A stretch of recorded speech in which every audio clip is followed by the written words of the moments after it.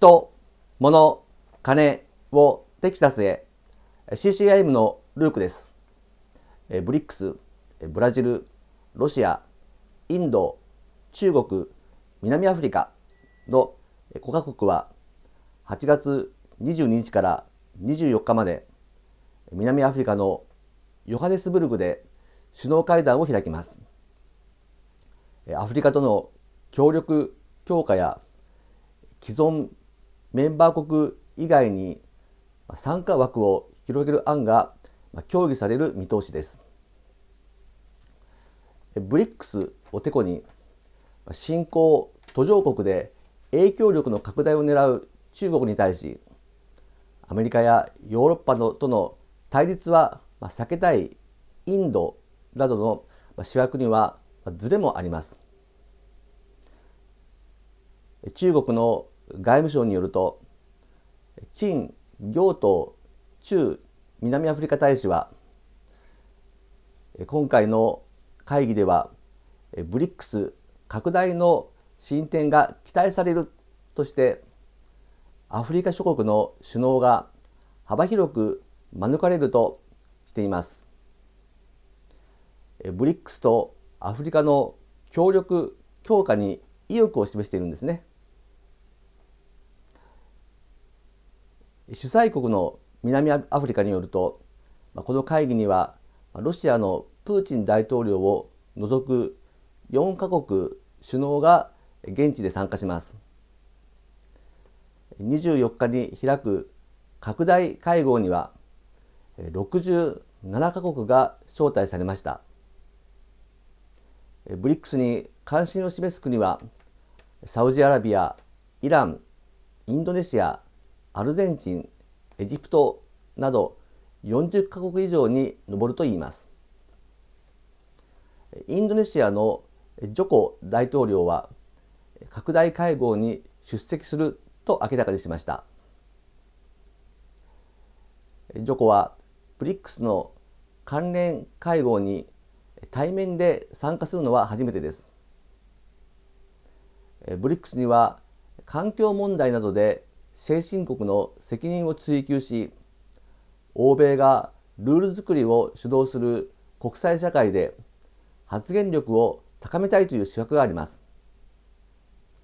これはグローバルサウスと呼ばれる新興途上国に共通する認識です。ただ欧米との関係やブリックス拡大の在り方をめぐってはブリックスの既存メンバー間で温度差が大きいです。中国は非西側勢力を結集し対中包囲網を主導するアメリカに対抗することを外交の基本方針に置いています。アメリカや同盟国が加盟していないブリックスや中国ロシアが牽引する上海協力機構はその中核に位置づけられます。習近平国家主席は2022年6月に、まあ、オンライン形式で開かれたブリックス首脳会談で志を同じくする友好的な国を早くブリックスの大家族に加えようと呼びかけていました。ウクライナ侵攻をめぐってアメリカやヨーロッパとの対立が決定的になったロシアにとってもブリックス拡大は好都合です。ブリックスはアメリカドルに頼らない現地通貨決済の拡大も目指しており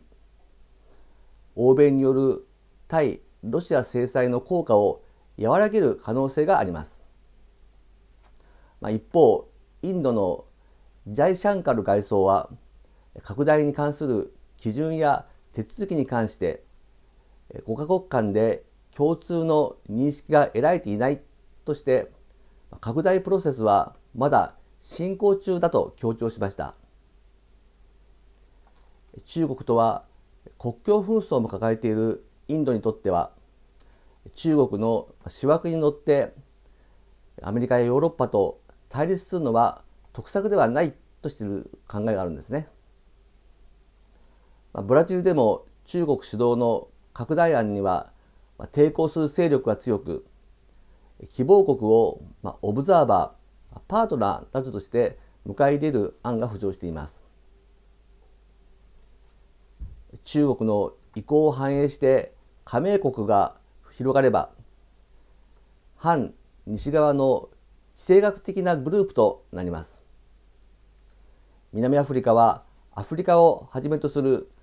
メンバー拡大に積極的です。ましかしながらヨーロッパや